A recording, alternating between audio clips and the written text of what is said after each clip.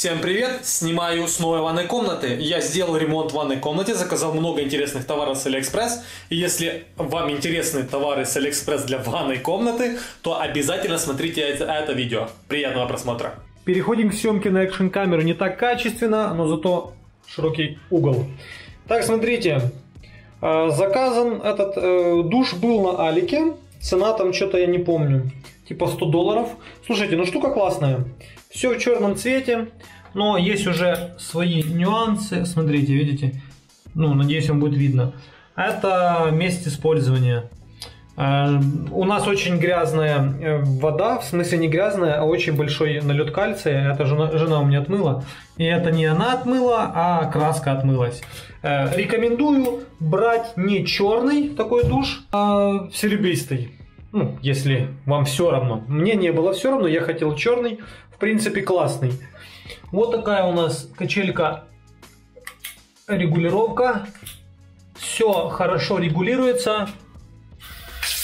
Мне нравится. А, нареканий особо нет. Но опять же, служит он мне пока месяц. За месяц нареканий нет. Все хорошо, все отлично. Ну, могу рекомендовать, но с таким учетом, что если у вас э, большие отложения солей на воде, то черный не берите. Убивается просто в хламину. Есть биде, есть такой кран, 12-дюймовая лейка верхняя и вот такая вот леечка. Ну, типа, все круто, все классно. Вот тут регулируется по наклону, удобно. А, установка максимально простая, инструкция есть, все в инструкции написано, все понятно, все круто.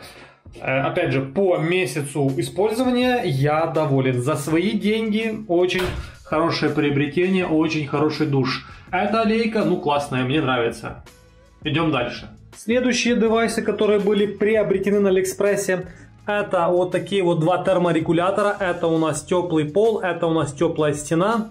Э, слушайте, ну довольно неплохие штуки, я уже их тестировал, не, ну не то чтобы тестировал, я их уже установил по факту, они работают, все нормально. Работают по Wi-Fi, можно посмотреть, и работают вручную.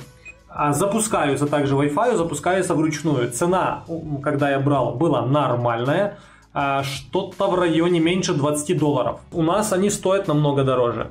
Рекомендую, такие терморегуляторы простенькие можно брать.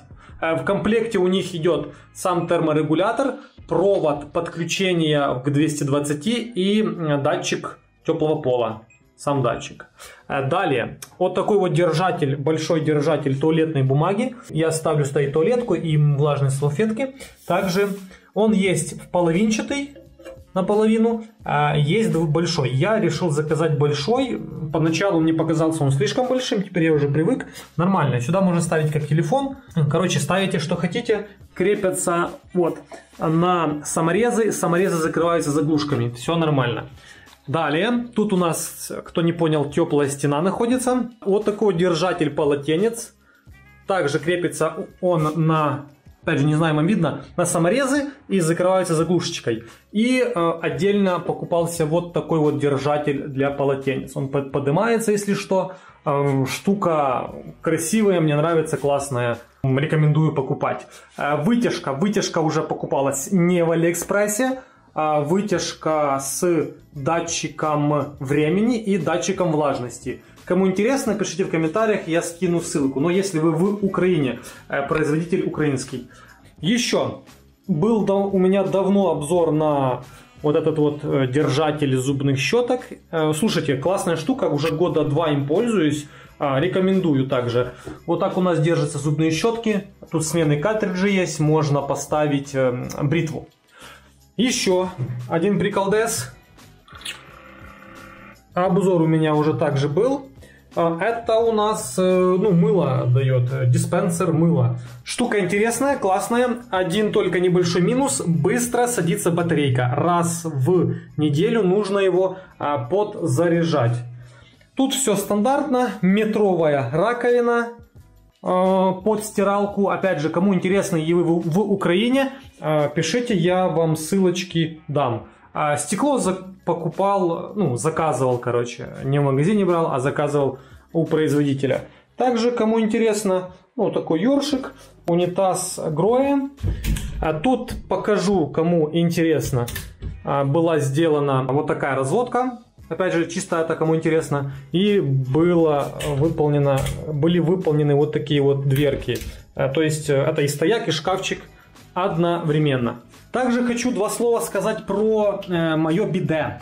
Слушайте, штука мега обалденная, но прикол в том, что она в инсталляционные унитазы, в мой, по крайней мере, унитаз инсталляции не влазит. Получается, она выпирает где-то сюда.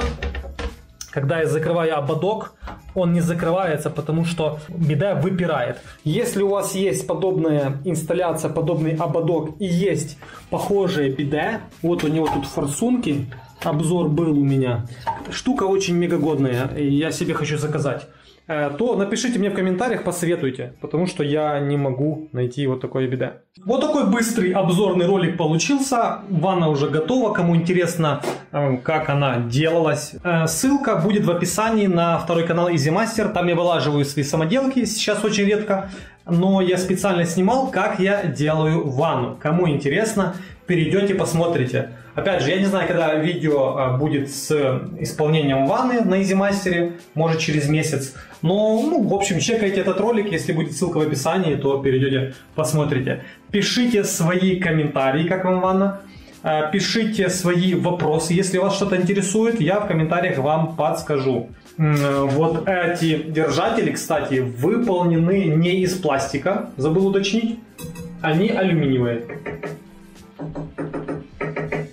Ну, это, это алюминий вроде, но это по звуку точно алюминий. В общем, как-то так. Задавайте все свои вопросы в комментариях. На все вопросы я буду отвечать. Всем спасибо за просмотр. Всем пока.